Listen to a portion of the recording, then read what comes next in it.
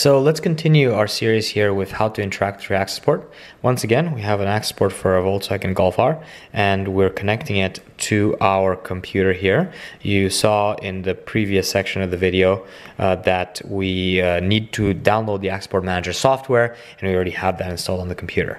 So now we're just going to hit connect here and once it's recognized that I've plugged it in, then you can see the progress bar there and you can see the files on the uh, on the access port itself.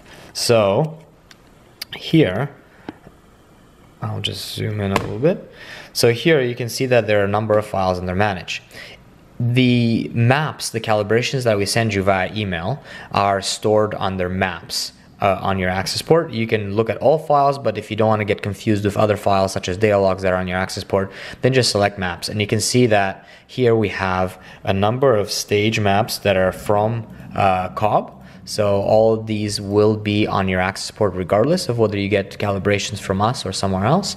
And then these are the cast the custom uh, calibrations that we build uh, for your vehicle. And uh, in order to get a calibration onto your access port, it's really really simple. We send you a .ptm file. You can see this right here. So this is a .ptm file. Uh, drag and drop it from your email anywhere on your desktop or in a folder. And then you simply grab this file and you drag it across to the access port. It asks you, are you sure you want to copy this? And then you say yes, and then there it is. Now you have this new calibration. When you unplug uh, eject the access port from your computer, plug it into your uh, vehicle, into the OBD port, then you're able to select this calibration and hit flash. It's as simple as that. Now, in terms of getting data logs off of the access port, so after you've data logged, you can select data logs here from the dropdown and this is how they'll look like. So for example, this, uh, this is a uh, data log that we've taken at some point in the past. The data logs uh, number up from one all the way up to the number of files that you have on the access port.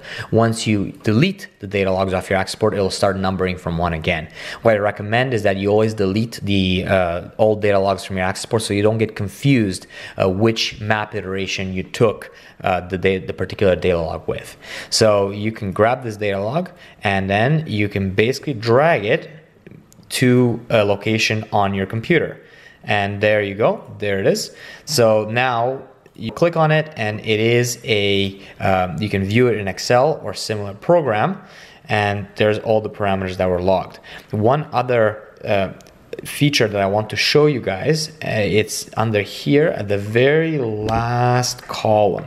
So if you look at the very last column, that of the data log, you'll see AP info. So now if we look at what's contained under AP info here, and I'll try and zoom in and make this as clear as possible. So you'll see some important information about this data log. You'll see the uh, the version of the firmware that it was taken with.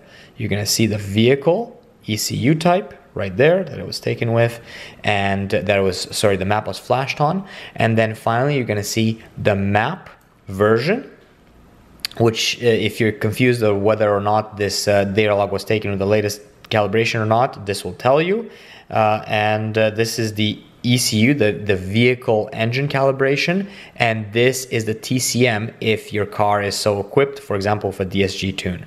So this is important information that can be grabbed from any of the data logs that you take and uh, will uh, will make it a little bit easier for you to to both add files, and remove files from your access port, and uh, and see what is on these files.